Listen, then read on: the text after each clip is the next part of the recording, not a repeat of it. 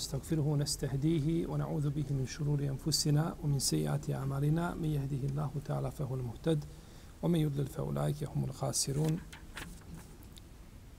ثم ما بعد.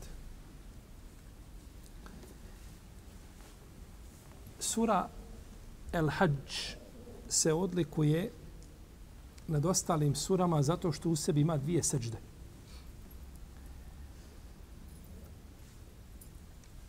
A mi smo večeras na prvom rekiatu čuli učenje ajeta od našeg uvaženog hafiza, ajeti sure Al-Hajj, u kome je seđda. Pa nismo učinili seđdu. Kada se dođe do ajeta seđde, tada se može postupiti na jedan od tri načina. Prvo da se učini seđda i da se ponovo digne imam na kijam, prouči jednu kratku suru ili nešto što dolazi nakon toga i ide na ruku i na seždu. Ili da se vrati i ništa ne uči i ide na seždu. Na ruku pa na seždu. U redu. I treći način je ovaj koji smo večeras čuli, a to je da se nakon ajeta seđde odmah ide direktno na ruku. I to je prenešeno od Ibnu Omara. Ibn Bišejbe je zabilježio sa vjerodostojnim lancem od Ibnu Omara da je kazao ako je između seđde tilaveta i seđde namaza samo ruku, tada će seđda namaza zamijeniti seđdu šta? Jer su blizu. Znači, dijeli seđdu tilaveta i seđdu namaza samo šta? Ruku. Pa kaže, ako dijeli ruku, onda može ići na ruku, pa nakon toga ići šta na? Pa je to jedno, znači, od jedan, tri dozvoljena, znači, načina, ovaj, jeli kada je riječ o seždi labet. Dobro. Mi smo došli do 109. ajeta kome uzvišeni Allah zađer kaže odde kathirum min ehlil kitabi لو يردونكم من بعد إيمانكم كفارا حسدا من عند أنفسهم من بعد ما تبين لهم الحق. فاعفوا واصفحوا حتى يأتي الله بأمره. إن الله على كل شيء قدير. ويقيم الصلاة وآتوا الزكاة. وما تقدموا لأنفسكم من خير تجدوه عند الله. إن الله بما تعملون بصير.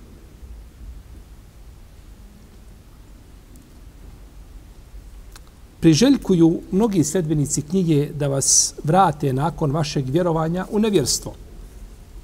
Iz lične zlobe svoje. Nakon što im je istina jasnom postala. Pa vi im oprostite i preko toga pređite dok Allah ne dođe sa odredbom svojom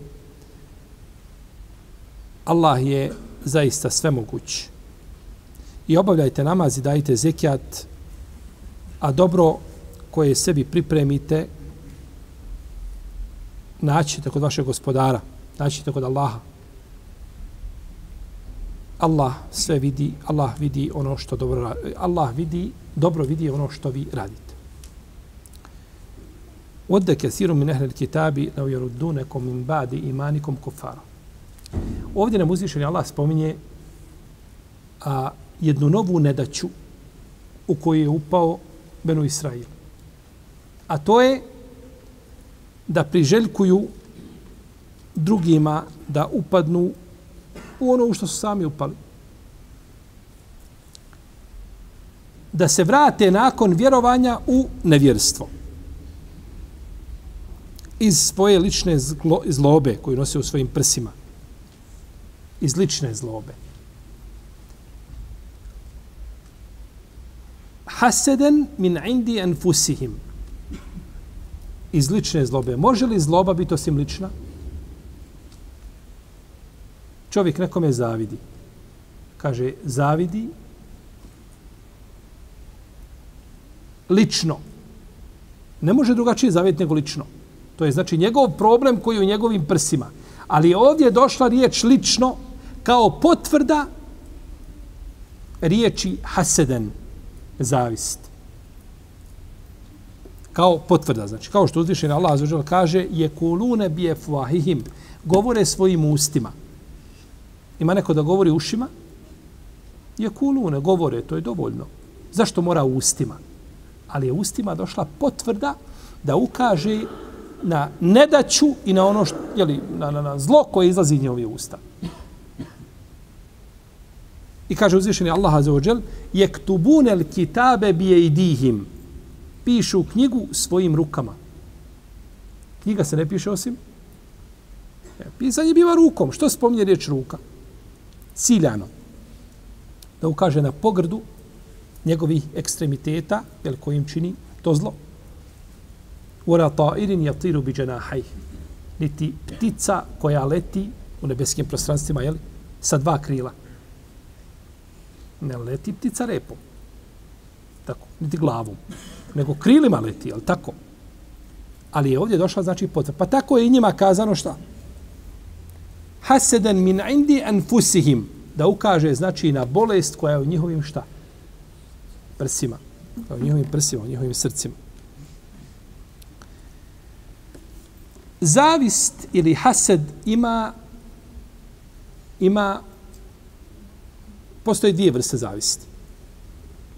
Pohvalna i pogrdna. Pogrdna zavist je zavist u kojoj čovjek želi da blagodat koju ima njegov brat nestane svejedno priželjkivao da se ta blagodat vrati njemu ili ne. Znači vidi pri nekome lijepu blago, vidi blagodat koja mu se dopada i želi da ta blagodat nestane od tog čovjeka. Svejedno želio da ta blagodat završi kod njega ili ne, to je pogrdna vrsta čega? Zavisti. To je pogrdna vrsta, znači, zavisti. I To je spomenuto u riječima uzvišenog Allaha za žel, em jahsudune nase ala ma atahum Allahu min fadle. I ili će oni ljudima, znači, na onome što im Allah iz obila svoga daje, zavidjeti.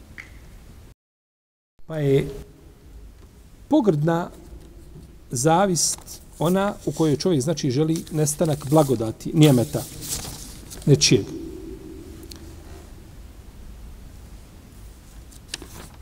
Međutim, zavist ubija zavidnika prije nego što ubije onoga kome zavidi.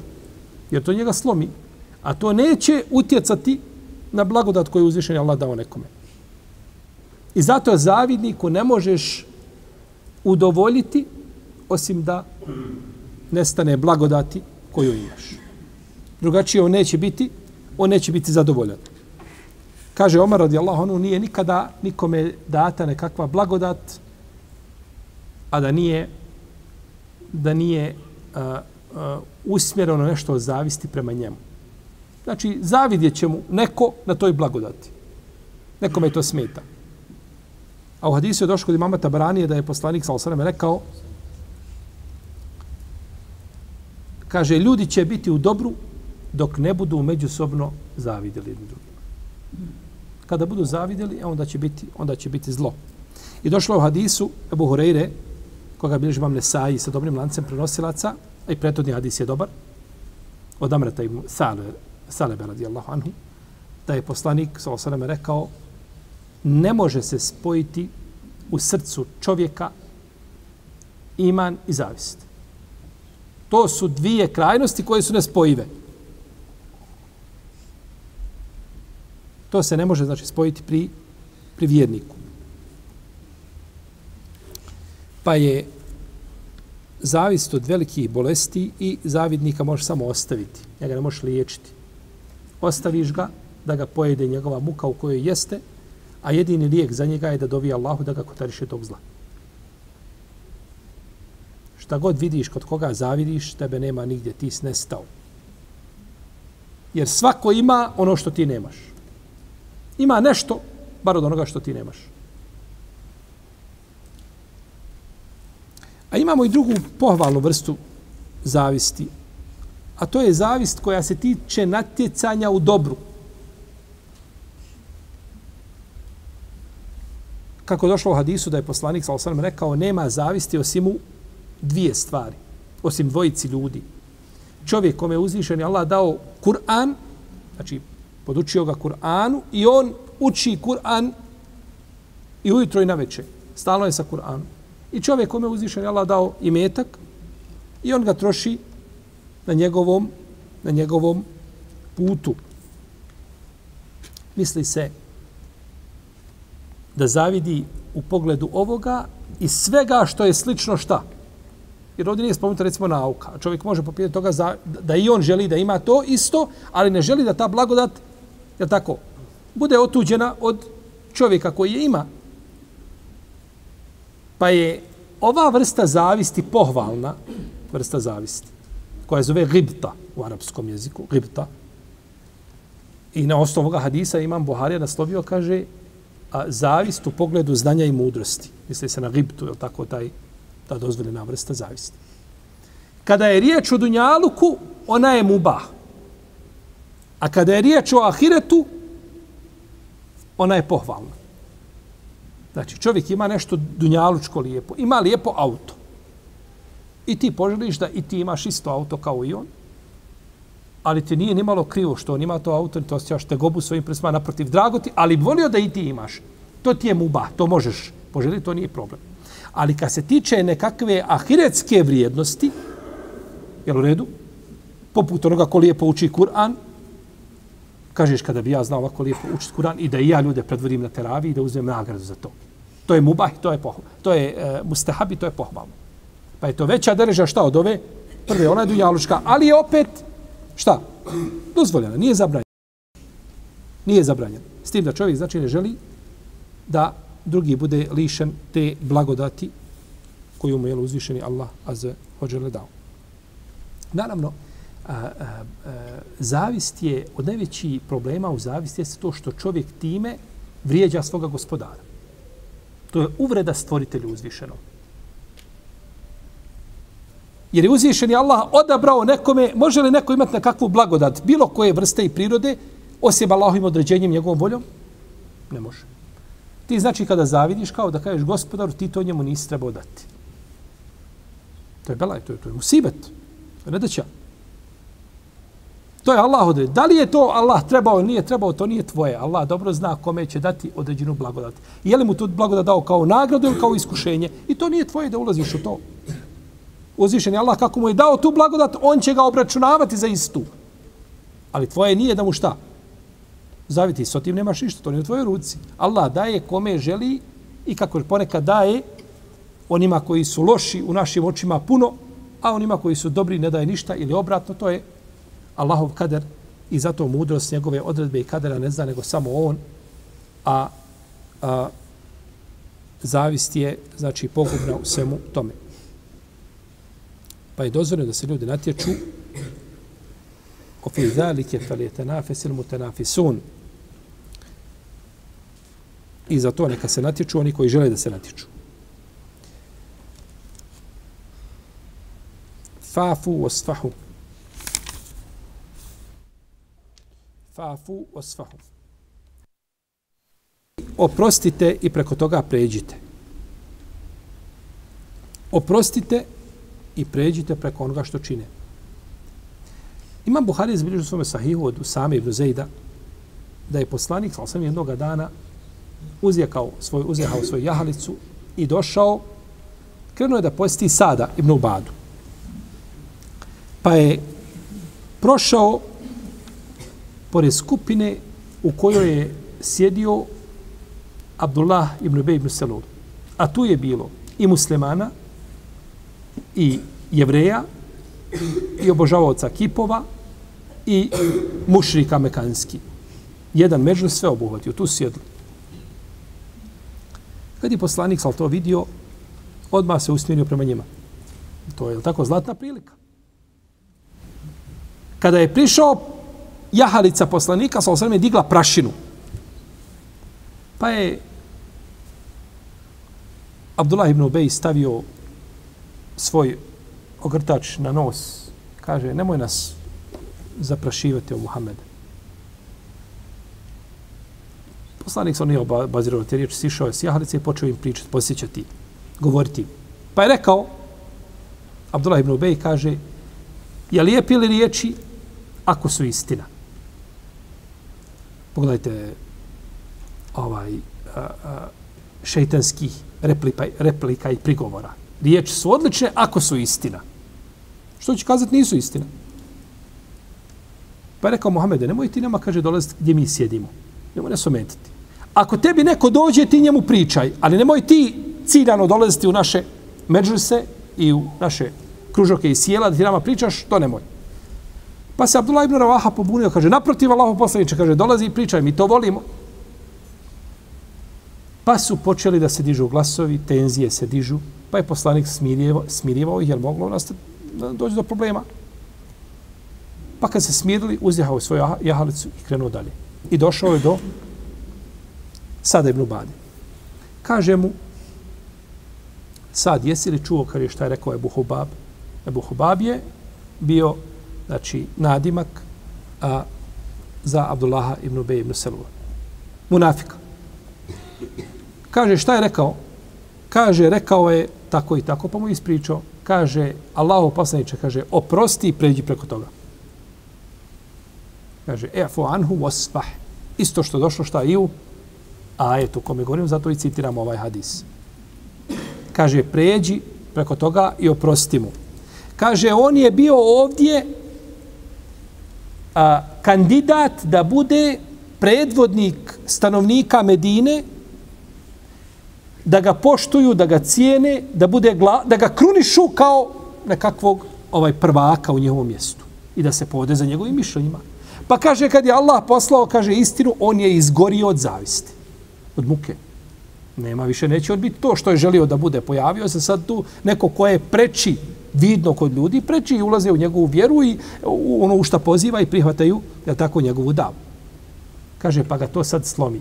Pa zato on to tako govori. Kaže, ostavi ga, ostavi ga, jeli, na miru. Pa je poslanik to oprostio to I znao je uzvišeni Allah kaže وَلَا تَسْمَعُنَّ مِنَ الَّذِينَ أُوتُوا الْكِتَابِ مِنْ قَبْلِكُمْ وَمِنَ الَّذِينَ أَشْرَكُوا اَذًا كَثِيرًا Vi ćete slušati od onih kojima je data knjiga prije vas i od mušic, mušrika brojne uvrede, neugodnosti, uznemiravanja. To ćete slušati neminovno. Pa je poslanik Salsarve oprostio i to, oprostio mu i to je sve bilo prije a, bitke na Bedru.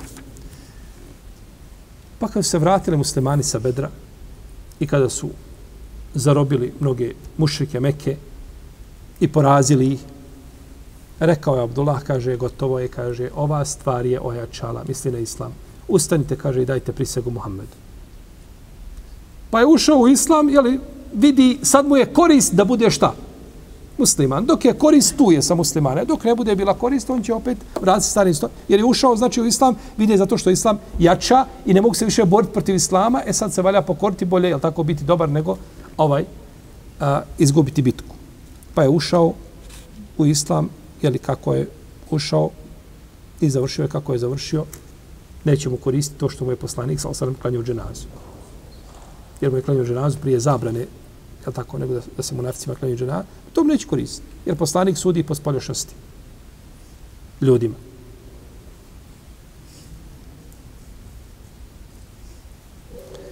O eqimu sana i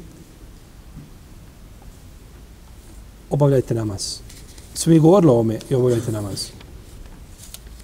Jesmo nekada davno, jel da? Tome smo pričali. Obavljajte namaz i dajte zekijat. Oma tu kadimu lin fusiku min hajnim teži duha inda Allah, a ono od dobra što uradite, a, to ste sebi pripremili, to je za vas. Došlo u hadisu kod imama El Bejheke u šobu limanu, da čovjek kada umre, meleki kažu šta si za sebe uradio. A ljudi govore šta si iza sebe ostavio. Tako, melek kažu šta si za sebe uradio, šta si donio sa sobom. A nasljednici kažu šta si ti nama ostavio živio. Pa je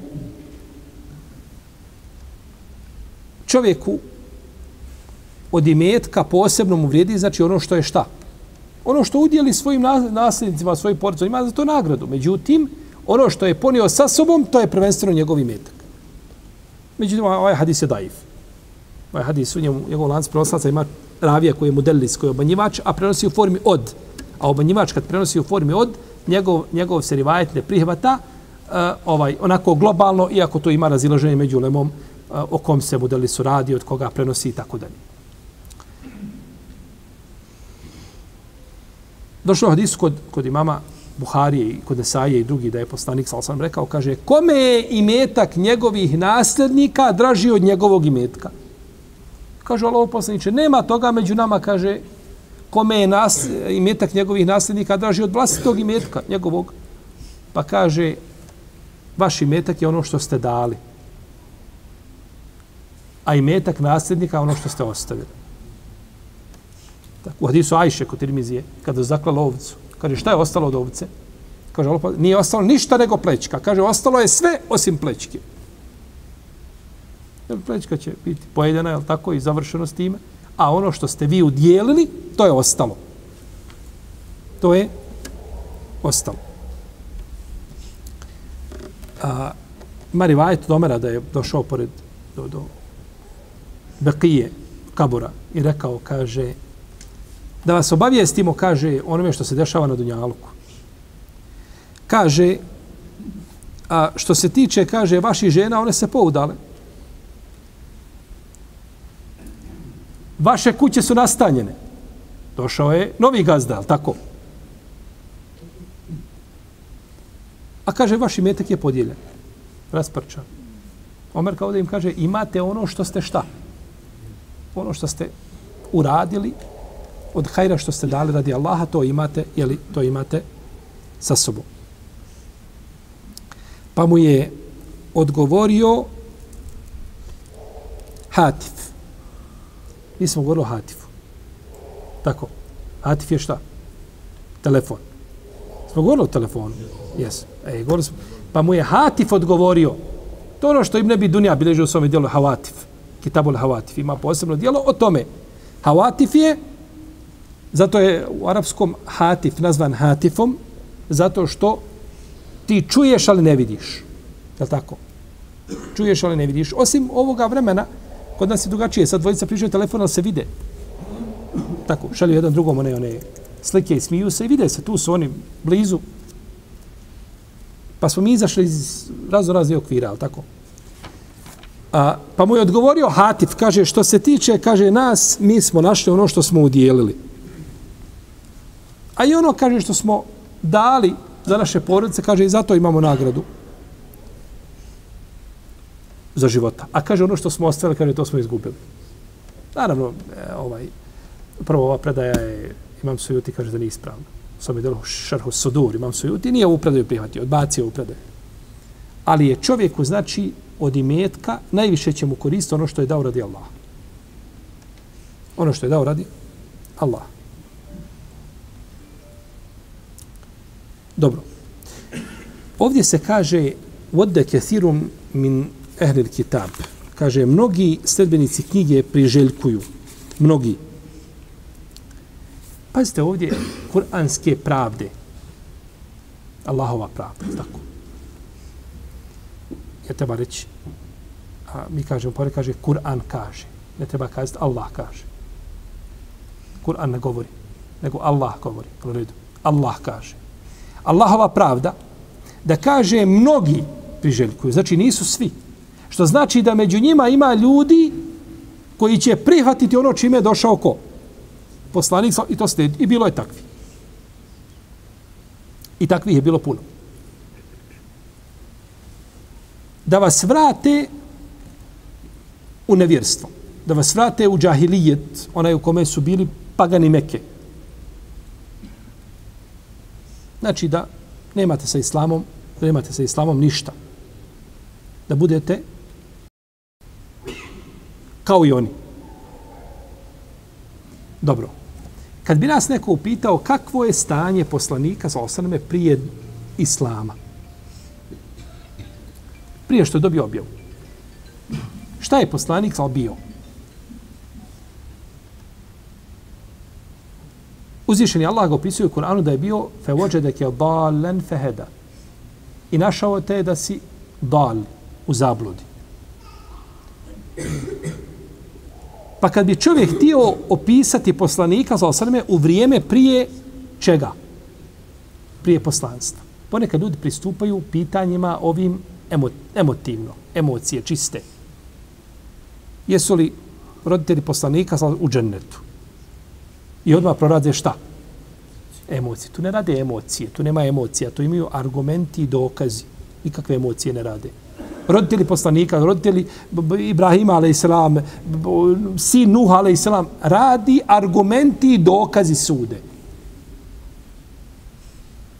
Argumenti i dokazi sude. Imam Sujuti, rahimahullah on je bio najveći pobornik, on je napisao šest risala o tome da su roditelji poslanika sa u džennetu. Šest risala, šest dijela napisao o tome. Manji, naravno, risala, tako. Niko nije ko imam Sujuti. Ovaj.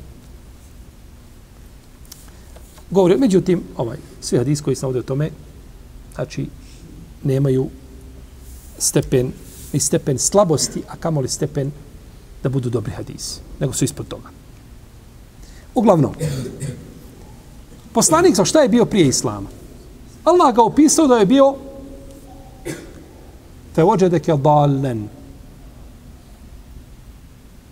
Ovaj dalalet koji je ovdje spomenut, šta on znači? Ne znači definitivno da je poslanik sa bio mušrik. To nije u kom kontekstu. To je nemoguće. Već u drugom ajetu uzvišeni Allah kao da je pojasnio značenje ovoga, pa kaže ma kunte tedri mel kitabu volel iman. Kaže, nisi znao šta je kitab ni šta je iman. E, to je taj delalet, nisi znao. Ti bi rado, ti gledaš, oni tavafe oko ki, ovaj, prilaze kipovima, tavafe oko kipova, nikada poslani to nije činio. Ili vajt koji se navodi kod imama Hakima, o tome je batil. Neispravan. Nikada nije seždu kipu učinio. Mnogi ashabi nikada seždu nisu kipu učinili. Kako poslanik sa osanem? Pa, on je bio, taj dalalet je bio da nije znao istinu, zato što istine tad nije bilo. To istina nije postojala. Ali je znao da ono što čine mušici Mekije šta nije, nije vjera. I zato se sam bježao od nje, osamnjivao sam. Nije mogao to nikako. I od najvećih dokaza da poslanik ali nije bio na onome na čemu su bili Mekije to vrijeme, jeste to što on nikada nije iskazal dobro Muhammede, fino. Eto ti nama spominješ jedan bog, obožavanje jednog boga, sve u redu to. Pa ti si dojuče s nama tavafio oko kipa. Skupa smo se držali za ruku Mohamede, sjećaš se u sedmog dana, tavafili zajedno i pričali i tavafimo da smo zajedno prinjali krp, e, kipu, žrtvu, zaklali i da smo zajedno seždo napali i plakali, molili kipa da nam nešto da. Nikada to niko spomenuo nije. Jel u redu? Nisu imali taj adut. A to im je bio najjači dokaza. Nego kažu Muhammede, mijeja, mijejaš vjeru svojih predaka. E, jeste tako. Ali to nije moja vjera. Nego tamo preci što su bili, a nema s tim ništa. Ja sam došao poslan prvo u enzira aširate kela krebin i pozivaj svoju najbližu porodicu. To mu je prva zadaća bila. Da pozove svoje. Pa nije poslanik sa osrme bio, znači taj dalalet je bio da poslanik nije znao šta? Istinu i hak, ali je žudio za istinom, a znao je da je neistina ono na čemu su njegovi sunarodnjaci. U redu? E, to je to. Ništa više od toga jer nije mogao vjerovati kad nije znao svoga gospodara, nije, nije, nije ga spoznao, nije čuo o njemu ništa, nije znači bilo tog vjerovanja, ali nije, i do tog momenta nije mogao znači znati istinu i nakon toga jer je poslanik sačuvan veliki grijeha, a kod velikog učenjaka i mali grijeha da je sačuvan da čini, pa je onda da to samo prije poslanstva, ali posle poslanstva razilaženje među učenjacima, veliko, ali je poslanik, znači, znao Jer, braćo, čovjek svojom fitrom može znati da ovaj stup ne može biti Bog. Koga su ljudi napravili tako, oni ga tu ovaj, instalirali, obložili ga, ne znam, čiste ga. Kada žele, mogu ga minirati, mogu ga maknuti odatle, tako, postaviti drugi. To čovjek svojom fitrom može zaključiti. Ali spoznati gospodara i ono što treba da zna o gospodaru ne može nego čime? Objavom, kada bi čovjek po vas dan sjedio i da razmišlja i ljudi i džini i svi da uzvišenje Allah ima prijestoj iznad koga se izvisio. Da uzvišen da se spustao za nju trećinu. Ne mogu doći do toga nego objavom. I zato spoznaja gospodara po ispravnom mišljenju, pazite dobro, kod ehlu sunnata od džemata biva razumom i objavom. Imate među muslimanima, oni kažu samo razum. Allah se spoznaje razumom. A imate oni koji kažu isključivo objavom. Ne. I objavom i razumom zajedno čovjek spoznaje svoga gospodara. Pa jako ti ovaj ne moraš imati dokaz za to da ne znam, jedna građevina ne može biti božanstvo. Ne moraš imati dokaz da čovjek ne može biti božanstvo. To ne treba dokaz nikakav. To je razum koji ti Allah dao dovoljan, ništa više od toga ne treba. Razbolio se, kašlje, med mu daju, sipaju mu tamo limun, limun mu cijede i on božanstvo. Pa ti samo sebi ne možeš pomoći živi. Kako ti možeš biti božanstvo? Kako možeš biti obožavan?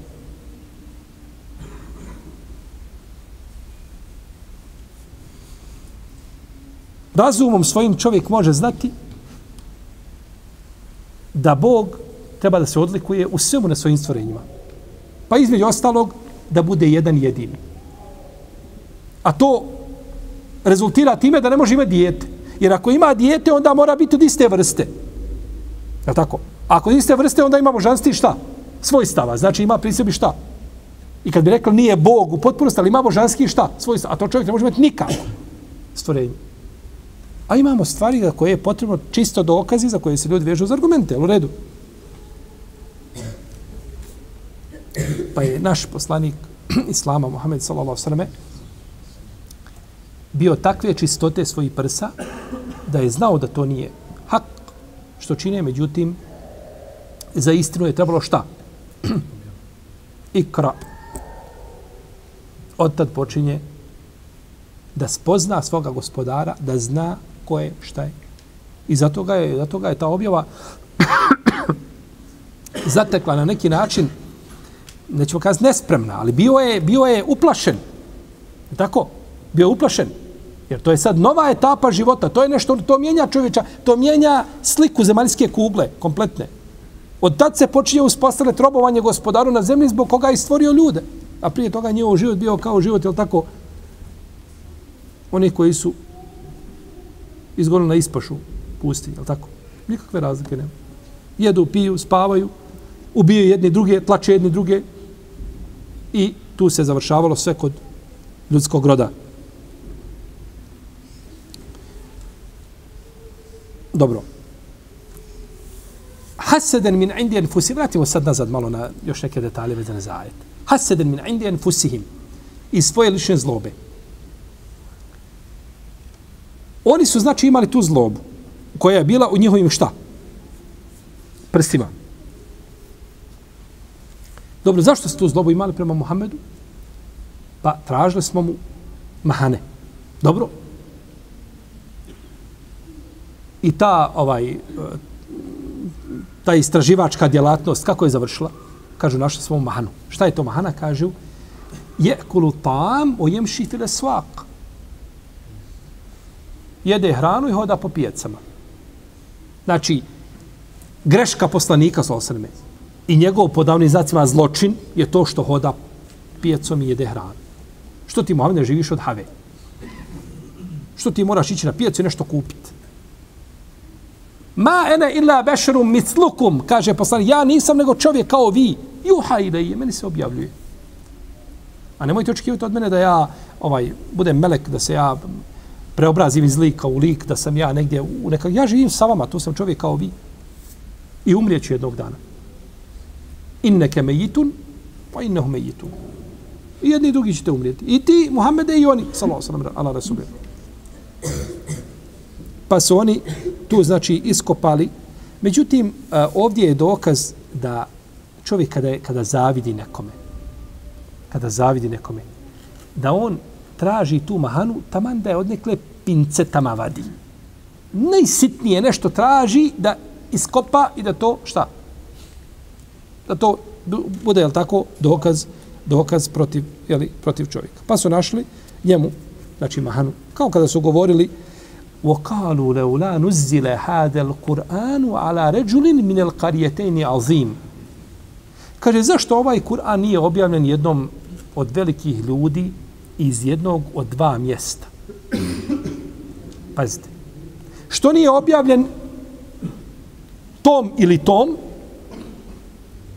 I što nije objavljen iz jedno, što nije taj čovjek iz jednog od dva mjesta? Što nije iz Meke ili iz Tajfa?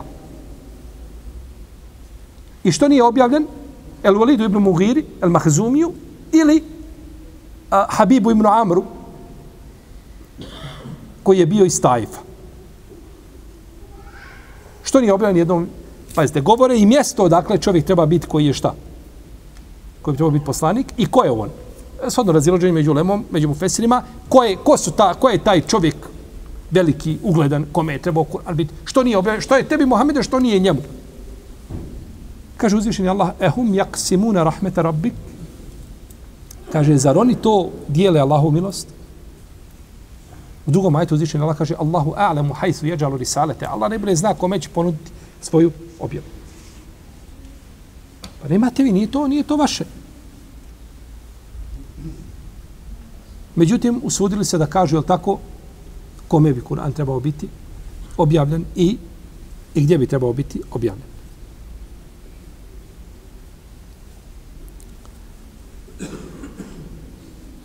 Pa je zavidnik taj koji traži mahanu i onda joj daje, onda joj daje jednu veću dimenziju nego što jeste na, na, na, na, na pumpa je.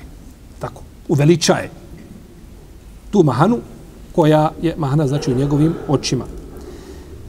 Min bad ima tebe je haq. Nakon što im je istina postala poznato. E ovo je najgora sad nedeća. Oni su spoznali istinu i nakon spoznaje istine ustraje čovjek u dalaletu. Dok ne znaš istinu, to je do, do tog momenta sve se možeš pravdati. Ali nakon što čovjek spozna istinu, to je belaj i to je i to je nedaća. Fafu anhum wasfah. Ti njima oprosti pređu.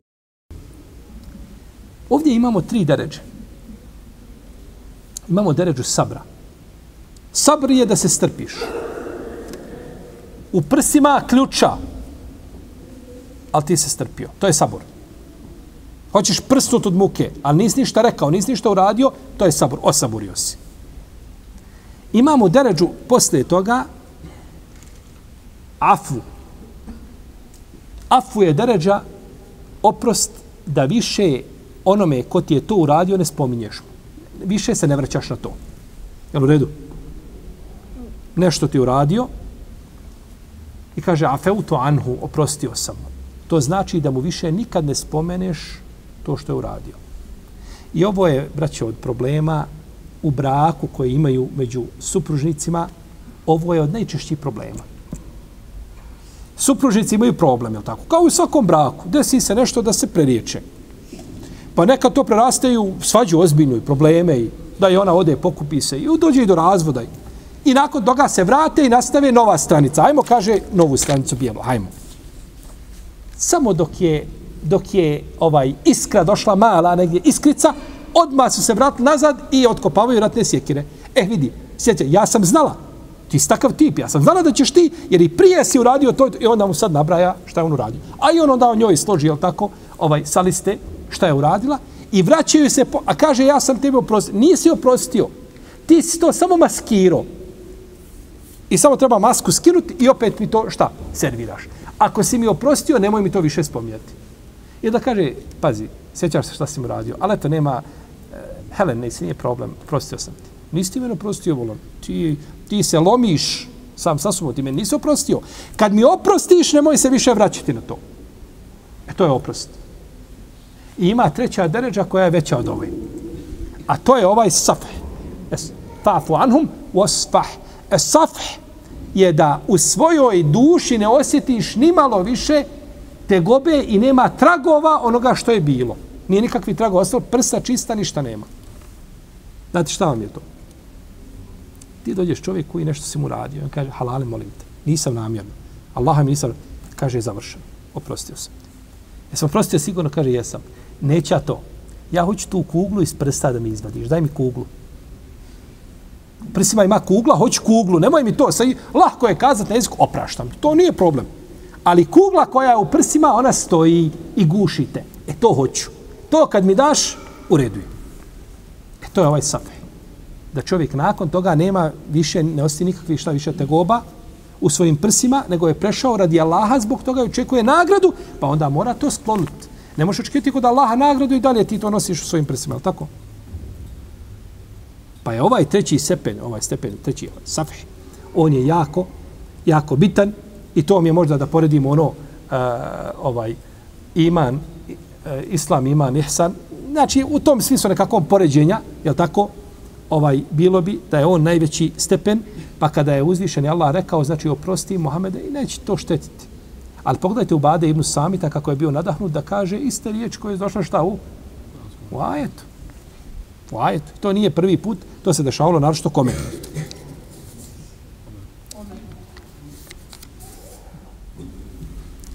وَمَا تُقَدِّمُوا لِيَنْفُسِكُمْ مِنْ خَيْرٍ تَجِدُوهُ عِنْدَ اللَّهِ A vi sve što date, što uložite, naćite kod Allaha. Došlo je u hadisu kod muslima da je poslanik sa osaleme rekao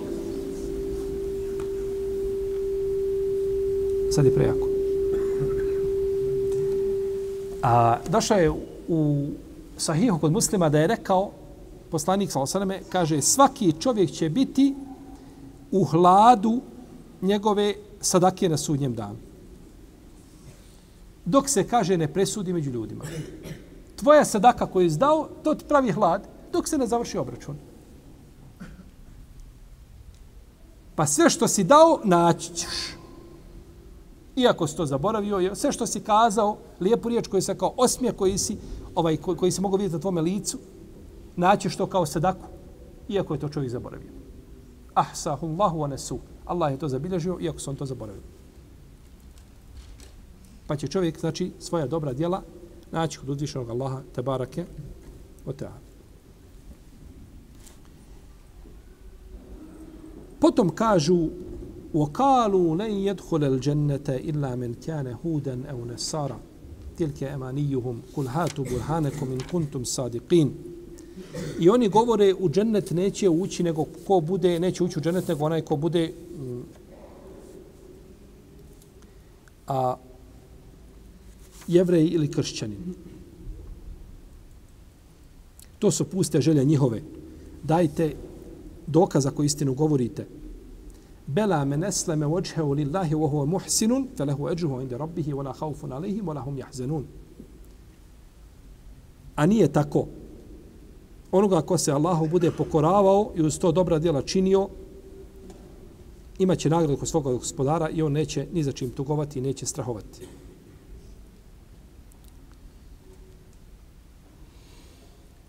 Ja sam ovdje eh, zaboravio spomenuti da sam spominjali smo ima po pitanju ovoga da je poslanik sam bio eh, uh, u vođe deke dalen feheda a ima šest mišljenja po pitanju ovoga da spominje Ibnu Džauzi je spomenuo u svome dijelu uh, uh, Zadul Mesir ima tefsir koji je štampan u četiri toma. Spomenuo je ovdje mišljenja šta e, pa neki učinjaci kažu da je to uh, vođe da dal je u arapskom onaj koji se izgubi? A, Kada se izgubi, dalle tarik, izgubio se. Kažu, poslanik se izgubio se u Mekki, pa ga je uzvišen vratio Abdul Mutalib, njegovom djedu. Kažu, to je jedno mišljenje da, da ga je našao u Mekki, šta? Da je dal, da se izgubio, pa da Drugi kažu, našao te među ljudima koji su bili u zabludi. Pa je to prepisao tebi, iako ti to nisi bio. Neki kažu, a, našao te da si dal, da si bio nepoznat, pa te učinio poznatim među ljudima i da budeš prihvaćen i tako dalje. Imaju različite mišljenja, šest mišljenja spominje. Ovaj, međutim, ono što smo spomenuli iz ovaj a, po pitanju tefsira Kur'ana jednim ajetom, drugim, to je najprihvatljivije. Nisi znao šta je knjiga i nisi znao šta je šta. Vjerovanje pravo. Nisi znao. Jeste. Kažu, neće ući u džennet osim onaj ko bude jevrej ili kršćanin.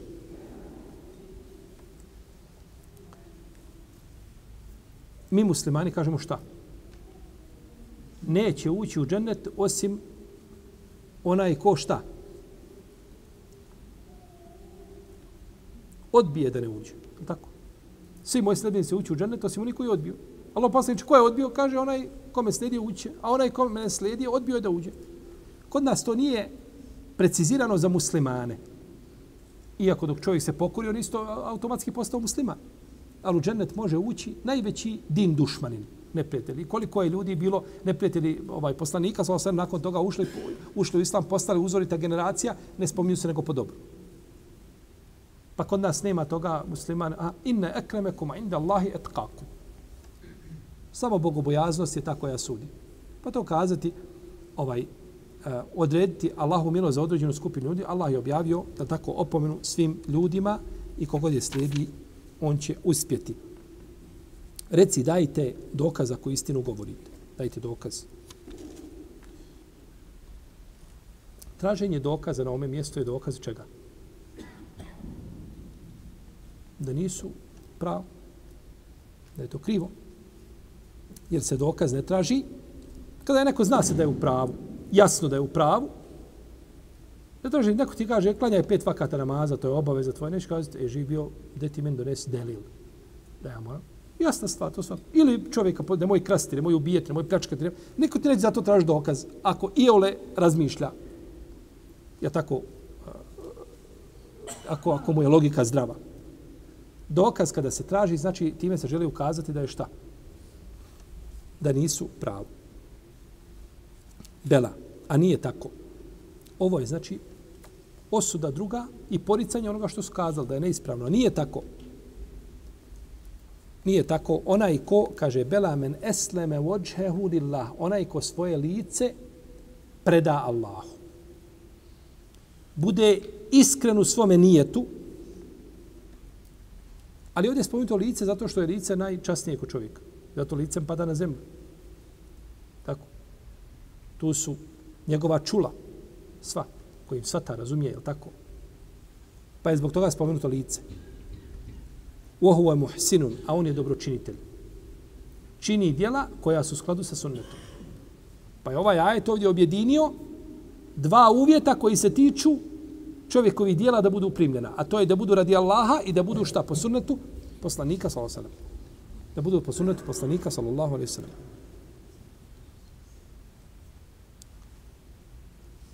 Kažu neće ući u džennet osim ko bude ko, ko bude jevrej ili, ili kršćanin. Znači, kažu kršćani i jevreji, u džennet neće ući nego kršćani i jevreji. Je tako? Nije tako. Naravno da nije tako.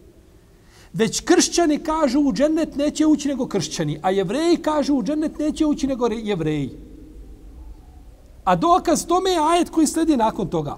وقالت اليهود ليست النصارى على شيء وقالت النصارى ليست اليهود على شيء وهم يتلون الكتاب I jevreji govore, kaže, kršćani su u zabludi, to ništa nije na čemu su oni. A, a kršćani to isto govore za jevreje. Pa nemoguće je da govore da će ovi šta onda u džennet. I pazite, nakon toga uzvišeni Allah kaže, kaže a, a, dobro, ali zašto, zašto je spojio zajedno? Ovdje spojeni zajedno zato što imaju neosnovane nade. Pa su spojeni zbog toga.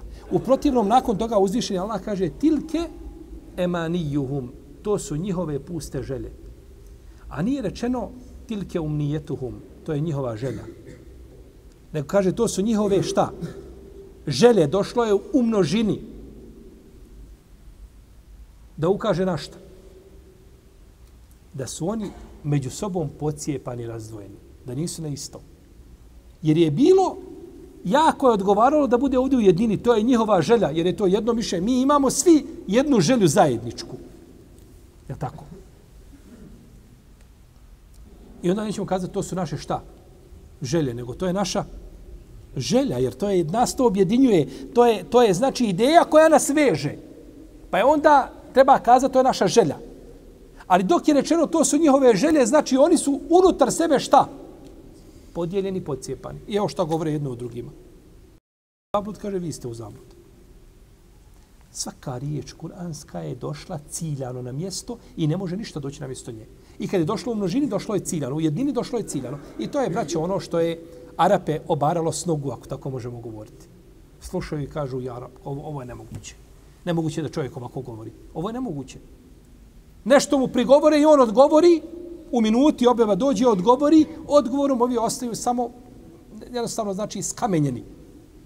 Ne mogu se suprostaviti, znači, kuranskom jeziku. I u tome je ljepota kuranskog jezika. Da je svaka riječ, znači, ima, nosi značenje. Znači, nosi značenje da su oni međusobno, znači, podijeljeni i pocijepani. Doneste dokaz. I rečeno lažljivci jedni. Ovakvi ste, onakvi ste. Nego doneste dokaz. Pogledajte kako Kur'an uči čovjeka da raspravlja sa šta? Neistomišljenikom. Kažeš, odlično, to je lijep, lijepa tvrdnja. Sviđa mi se ali bi trebala biti građena na argument. Ti s time kazao što hoće, je tako? Tražiš od njega šta? Dokaz da kaže. Tražiš od njega dokaz. A, ovdje se, ovdje je došlo jedna potvrda, jedna negacija. A, negacija da drugi neće u dženet mimo njih, Znači, i potvrda da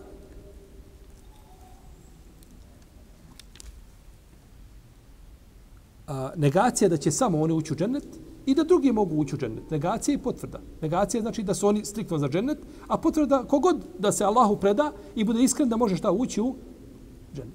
Naravno, islamski učinjaci razilaze kada je u pitanju kada čovjek treba donijeti dokaz. Kada treba donijeti dokaz, argument kada čovjek nešto potvrđuje, tad mora definitivno doneti dokaz. A čovjek kada nešto negira, mora doneti dokaz. Jer pa kad s nekim raspravljate, nije uvijek ispravno tražiš dokaz. Ponekad kad tražiš dokaz, e, provalio se. Samo si pokazao šta da? Da ne znaš raspravljati. Nemaš, znači nemaš, a, a, a, ne znaš metodologiju rasprave. Ne znaš kako raspravljati. Ne možeš uvijek tražiti čovjeka dokaz. Pa učenjaci kad kažu čovjek koji negira po pitanju dokaza, to imaju, kažu, tri mišljenja. Tako kaže Ibn Kajim. Imaju tri mišljenja. Slušajte me dobro. Se umorili. Evo sad ćemo prekinuti još malo.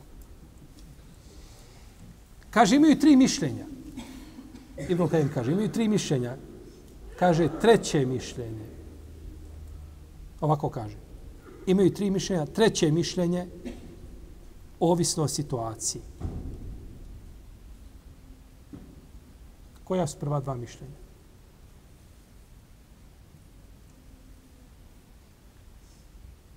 Hm? Ibn Kajim nije spomenuo ništa. Ja, Ibn Kajim, što, što nas muči, živi bio? Ja spomenam. Kaže, imaju tri mišljenja, kaže treće mišljenje, ovisno o situaciji. Pa prvo i drugo mišljenje se zna. Treba i ne treba. A treće je ovisno šta? Ositu. Pa nekad ga možeš tražiti, a nekad ga ne možeš tražiti. Pa onda govore da li je to po pitanju gajbijata, da li je to po pitanju ovaj, objašnjavao je, znači pitanje naduže, nije to našire, nije bitno. Bitno je da je on spomenuo, kaže imaju tri mišljenja i spomeneti jedno, a ostala dva prešuti. Što ti prešuti? Da si Ibn Kajima upitao, dobio bi odgovor. Ibn Kajim nije, nije pretpostavio da može doći generacija poput nas i da mi ne znamo šta se cilja s tim što on prešutao imamo tri mišljenja po određenom pitanju. Treće mišljenje, ovisno o situaciji u kojoj se čovjek nađe. Znači, prvo je može, drugo je ne može i treće je nekako srednje da se gleda i da se važe šta i kako je. Pa učenjaci nisu spomnjali ono šta što je jasno. Ovaj, jasnije nego dan. To je bilo kod njega jasnije nego dan, kod nas je to mrkla noć. Uglavnom,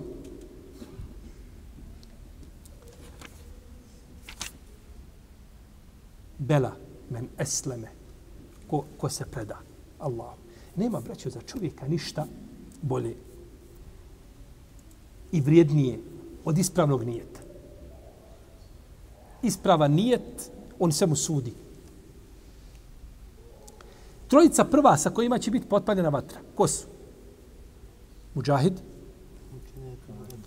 Čovjek koji je učio Kur'an i koji je davao sedaku trojica najvrijednija djela činili. Borio se na Allahovom putu, davao svo, svoga imetka, učio Kur'an, dođite vam, malo, vi ste, znači, gorivo, početno za vatru. Naravno, džehennem je prije toga upaljen, ovaj i gori i došlo je to u hadisima. Međutim, na, da, na dunjalu, na ahiretu, znači misli na jednu posebnu znači, vrstu paljenja džehennema sa tom trojicom ljudi da će oni biti prvi znači koji će završiti u, u džehennemu zato što su radili najbolja dijela, a imali su kakav nijet.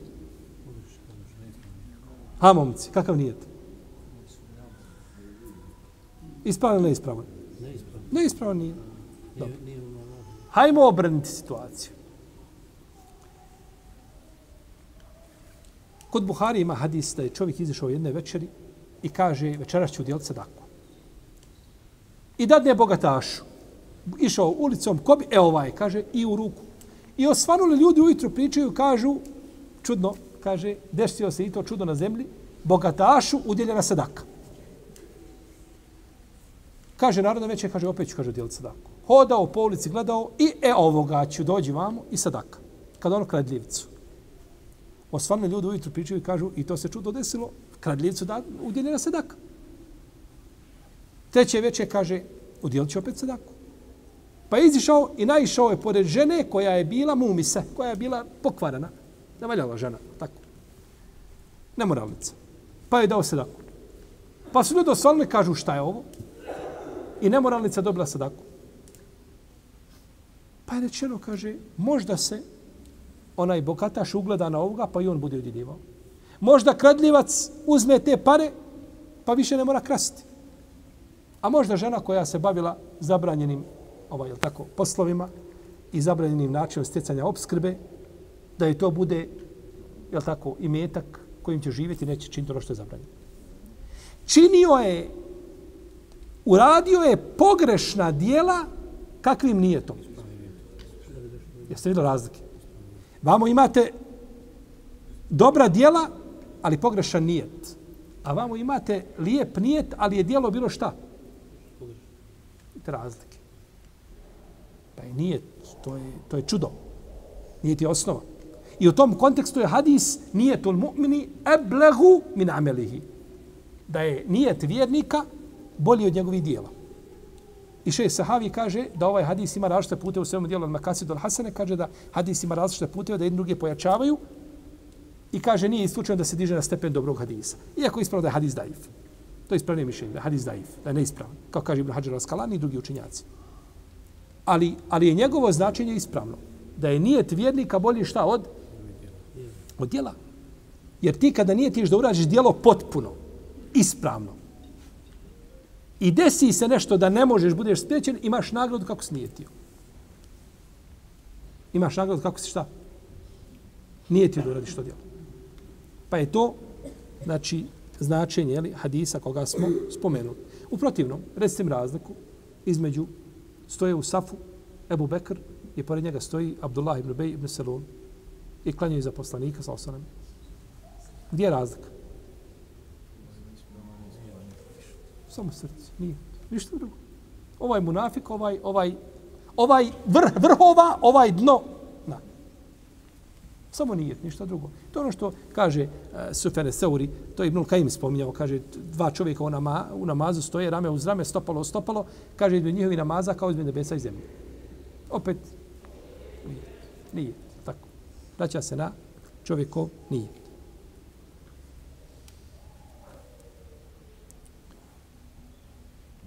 Znam, jesmo dugo, koliko smo? Može još? Može. Možete vi, mladi? Može. Pa dobro, znate kako ovaj predavanja, treba im ipak dati mjeru, znači da ne bude bilo, možda ponekad spomenemo, da bude nešto naporno. Dobro, možemo, možemo još ovaj kratko ajed završiti, nećemo dugo. وقالت اليهود ليست النصارى على شيء وقالت النصارى ليست اليهود على شيء وهم يتلون الكتاب كذلك قال الذين la ja'lemune misle kaulihim. Fallahu jahkumu bejnehum yawm al-qiyamati fima kanu fihi jahtelifun. I jevreji govore nisu kršćani na pravom putu. A kršćani govore nisu jevreji na pravom putu. A oni knjigu čitaju, knjigu uče. Tako slično kao oni govore oni koji ne znaju. Allah će među njima presuditi na sudnjem danu u vezi s onim oko čega se razilazili. Mi smo spomnjali, znači šta znači ovaj ajet. A, odnosno da su jedni drugima pregovarali, a pregovarali su da nisu na pravom putu i osuđivali jedni druge. Ohum je tnunel kitab, a oni uče knjigu. Ovdje je knjiga Tevrat i Inđil. To su knjige koje su uče. Oni su učili Tevrat i Inđil i oni su osuđivali, znači čitaju knjigu, osuđivaju jedne druge, a u jednoj i drugoj knjizi je spomenuto ono što oni negiraju. A to je pojava poslanika Mohameda s.a.v. To je spomenuto u njihovim knjigama. Tako. A oni uče knjigu. Tako govore oni koji ne znaju. Tako govore oni koji... Ko su to oni koji ne znaju? Razilaze su učinjaci. Neki kažu da je sto mušrici meke. I to je mišljenje odabro veliki jedan mu fesir današnjice koji je skratio Ibn Kesirov tefsir koji vi čitate. Kako se zove?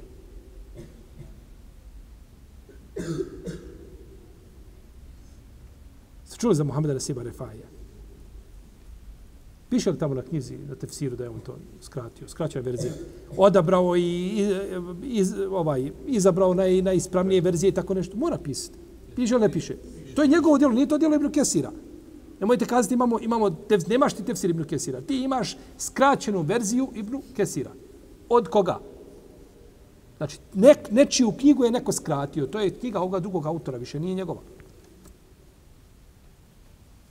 On je odabrao da je sto... A imamo i drugo mišljenje da sto svi oni koji, do koji nije došla knjiga. I to je ispravnije mišljenje. Iako mišljenje šeha Rifaija se tu do, do, dotiče te tačke, jer ovi nisu dobili knjigu. A ne, ne, ne tiče se samo koga. Jer on kaže u svome tefsiru, kaže, وَهَذَا uradžihu, kaže, ja ovo da birem ovo mišljenje, kaže on u svome tefsiru. U tefsiru Ibn Kesira, znači u fusnotama gdje je pisao svoje mišljenje. Ali ispravno da se to odnosi na svakoga ko nije dobio šta? Knjigu. Svakoga ko nije dobio knjigu, to je taj koji ne zna. To je taj koji nema odakle znati, je tako? Tako govore oni koji, koji ne znaju. Kaže, a pa, ovim se cilja svi oni koji živjeli prije jevreja i kršćana koji nisu dobili knjigu. Pa je to mišljenje, znači, blizu toga. A Ibn Abbas kaže da ovaj ajet je objavljen povodom toga što su došli Ehlu Neđran. Svici Neđrana koji su bili kršćani, došli su kod poslanika sa osam. Pa se tu došli to su priključila se jedna skupila židovski i jevrejski učenjaka. Pa su sjeli. Pa su počeli malo riječ po riječ, a, pa se počeli prepirati, svađati, vrijeđati, pa su jedni drugima kazali vi ništa, to na čemu ste vi, to je nula, ovi, i vi na čemu ste, to je nula, pa je onda objavljen šta ovaj, ovaj ajet. Pa je objavljen, znači, ovaj, ovaj ajet. I ovdje u ovome ajetu, pazite, ovo, ovo poređenje, tako govore oni koji šta? Ne znaju. Jevreji govore kršćanima, vi niste ni na čemu. Kršćani govore njima, vi niste ni na čemu. Tako govore oni koji ne znaju. Ko su oni koji ne znaju?